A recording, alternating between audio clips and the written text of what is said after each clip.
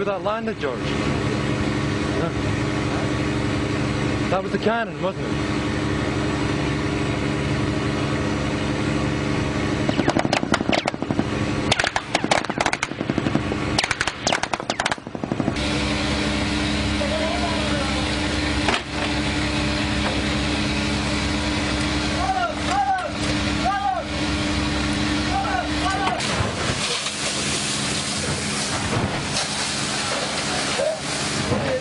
cool.